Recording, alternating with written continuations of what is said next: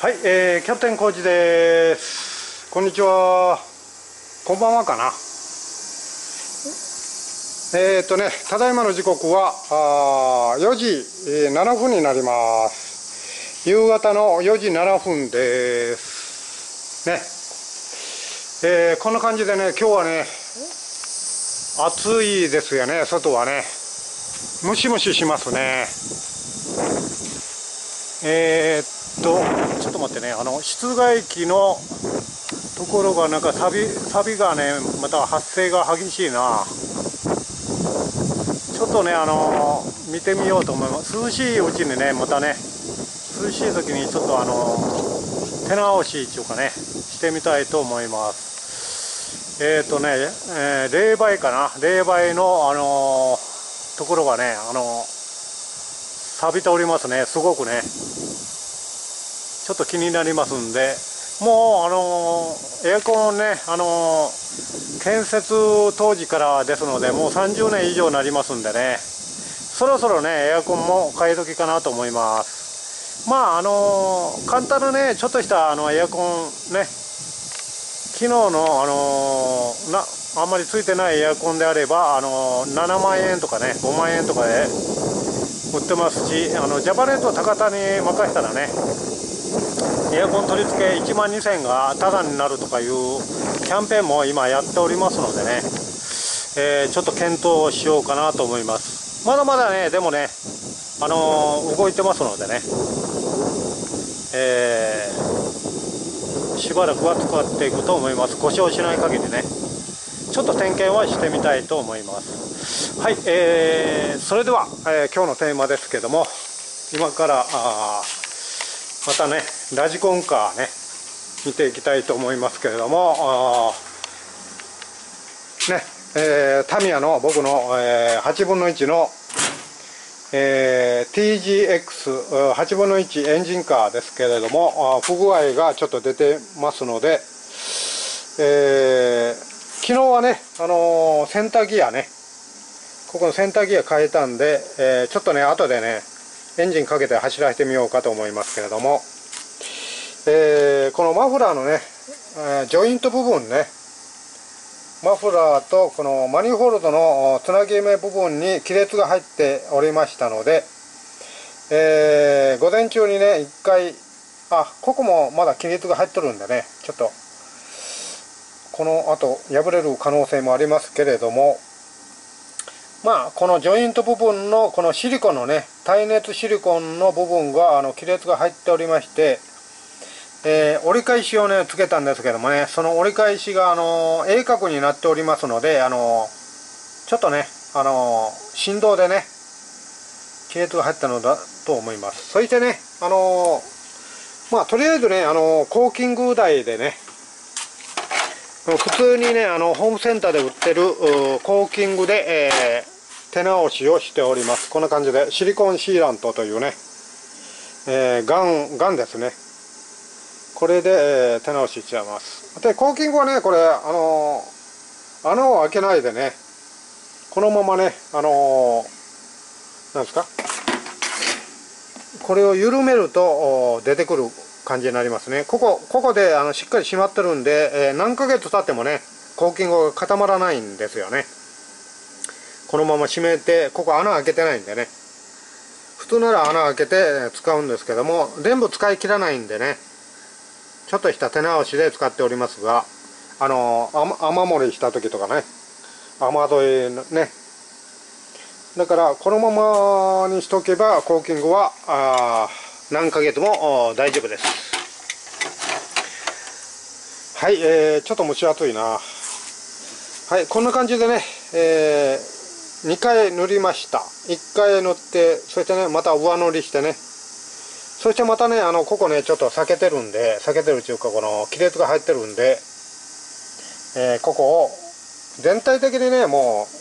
う塗っておこうかなと思います。そしたらね大丈夫だと思います。ちょっと待ってね1個一回塗ってみようかな。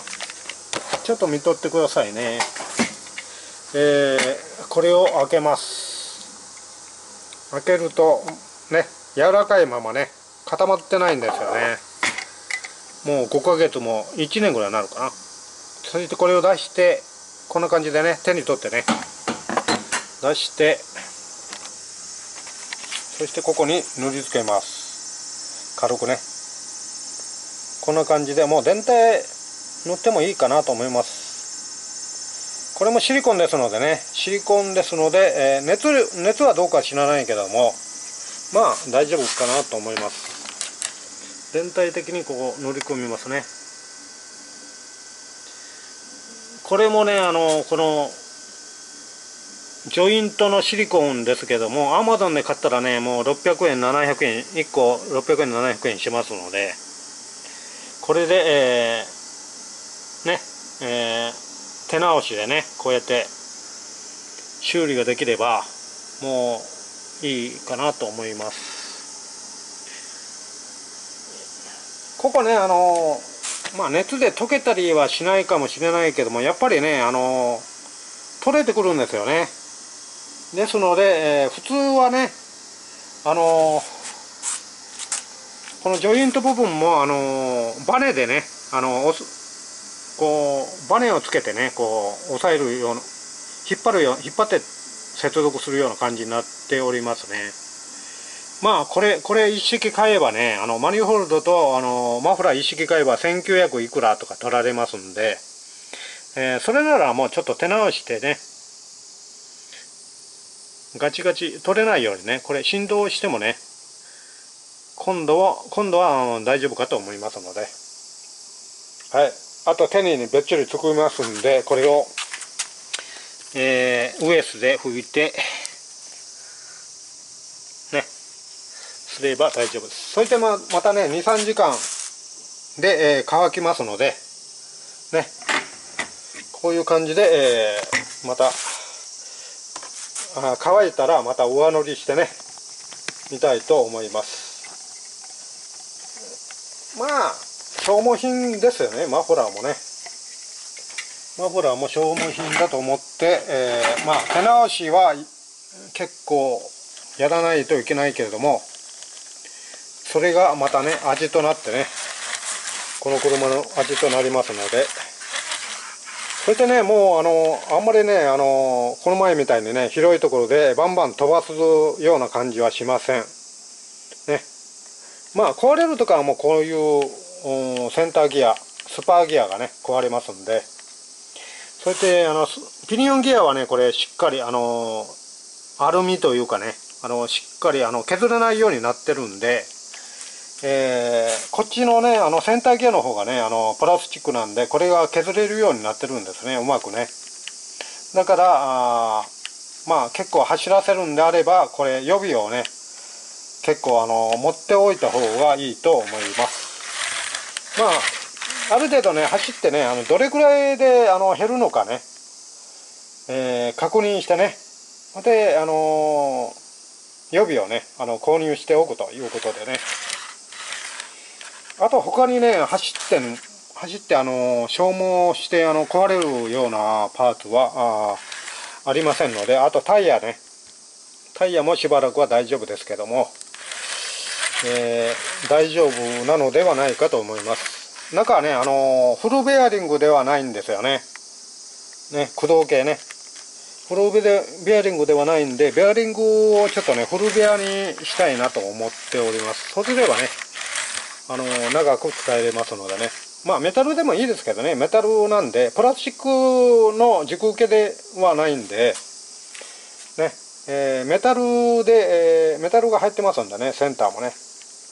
まあまあいいのではないかと思います、まあ、時々ねオイルをさしてやればね。はい、えー、以上になります。それではね今からねあのー、えー、買い出しに行ってきますんで、えー、ね、え、うちのクロちゃんとねクロちゃんとお買い物に行ってきますので、またねあ動画撮りたいと思いますのでとりあえずはもうこの報告までねしっかりあの治りましたのでしばらくこれを TGX を走,、えー、走らせますんでよろしくお願いいたしますそれではこの後もよろしくお願いいたします、えー、このチャンネルが面白かったらチャンネル登録ぜひお願いしますえー、コメント、高評価もよろしくお願いいたします。頑張ります。暑いけどね。それでは、え、ご視聴ありがとうございました。この辺で失礼いたします。